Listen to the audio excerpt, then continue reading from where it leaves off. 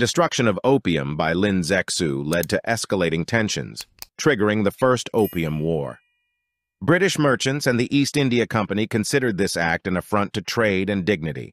Attempts to prevent conflict by compensating for the destroyed opium failed, leading to British military intervention in 1839.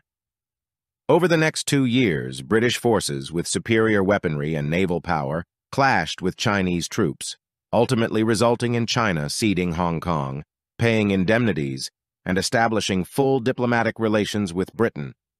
Despite Chinese resistance, their outdated weaponry proved ineffective against the advanced British forces.